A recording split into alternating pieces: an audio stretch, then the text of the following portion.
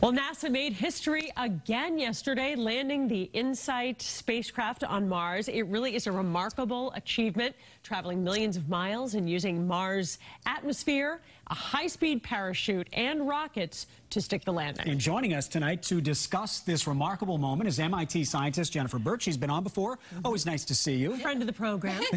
Friend of the program, indeed. The first question I have, it's so easy for us to lose perspective when we've seen a spacecraft land on Mars before. We've had the rover on there before. It's driven around. We've collected samples. Mm -hmm. What makes this so difficult? Why is it so remarkable to land something on Mars like we've just done again?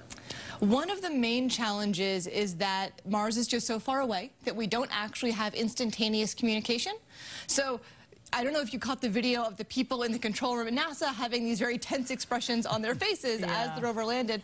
That data, as we started to get it in that it had been successful, had been traveling for eight minutes. Mm. And so there was this eight-minute delay where the rover had to do everything on its own, make decisions, land itself, and then tell us it had succeeded, and we just didn't actually know if that had happened. And there's all that risk that as it's entering the atmosphere, it burns up or it crashes. Yeah. All kinds of variables involved with trying to get the it to do that. The speed change is crazy, so InSight hit the atmosphere doing something like 10,000 miles an hour wow. and then managed to slow itself to about 5 miles an hour before wow. it touched down. And just that change is a huge undertaking. Amazing. And we're already seeing some stunning images today yeah. uh, from the initial first day there on Mars. But that's actually not the mission of InSight. What is going to be the mission for it moving forward? Sure. Yeah. So the images were kind of its first uh, hello, I made it sign, which is always a welcome thing to receive. Yeah. InSight is actually focused on kind of taking the vital signs of Mars. So where a lot of missions over the past few decades have focused on the surface of Mars and the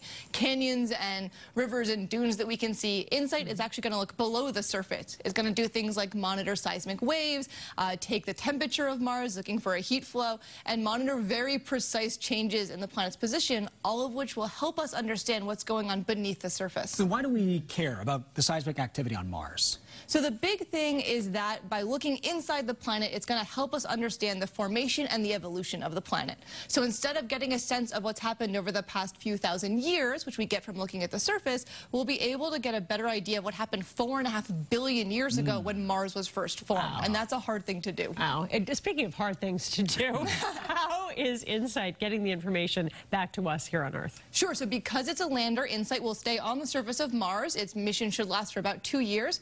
It relies on other spacecraft orbiting Mars. So InSight sends them information, mm. and then they ping it to Earth and sync wow. it off of the Deep Space Network. So we send spacecraft up years and years ago. It's now being used to relay information to us hmm. from the ground on Mars. Unbelievable. Incredible. How does it have power on Mars? It has to deploy these instruments that you say will measure some seismic activity, yep. that sort of thing. How does it how does it generate power while it's sitting there on Mars? And so the second kind of big uh, teeth-biting or nail-biting moment mm. was InSight unfolding its solar panels, which happened last night. And so there are these big solar panels uh, that unfold. They will collect light from the sun, and hopefully even when there are dust storms on Mars, they'll still be big enough they can pull in enough photons, enough mm. energy to run all mm. three of those instruments. And you, I would imagine that would really help in our solar panel technology, right? Yeah. What we can learn sure. from the kind of it's, power. Yeah, one of the many ways where wow. you know the science we develop looking outwards to space can actually benefit us back here yeah. on Earth as well. And you know we've joked for decades about little green men, but what's the fascination with Mars? Why not as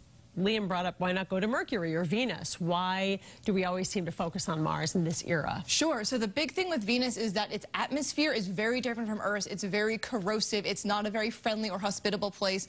Mars doesn't have much of an atmosphere, but it is more similar, more hospitable to us than Venus is. And so it's close enough that we can get to it, and it's similar enough to mm. Earth that it'll help us to better understand how small planets, small rocky planets really come into existence. And of course, a rocky planet like ours, why not Mercury? I know that that's not all that far away. It's not that much farther than Mars, right? Why not Mercury? It, it's a fair distance away. I think the main concern uh, is just that it's so hot. It's so mm. close to the sun that the surface can be really, really toasty.